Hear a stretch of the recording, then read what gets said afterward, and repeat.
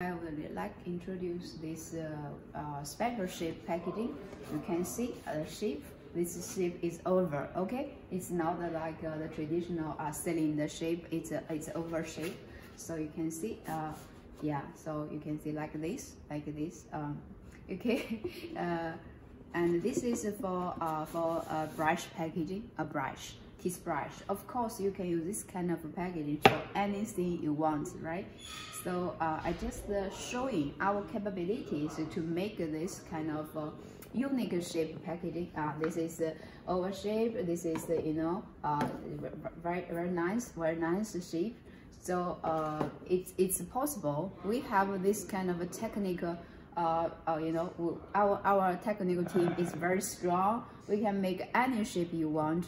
Uh, you know, the, the, technical technologies is quite, uh, quite uh, you know, uh, mature in our side. So you can see this is a uh, little size and this is a big size, right? So the size and the dimensions could be adjusted based on your uh, requirement. Of course, this is kind of very nice, very nice, cute, right? Cute, but it's harder cardboard. It's harder cardboard. It's not soft, right? It's not soft. Okay.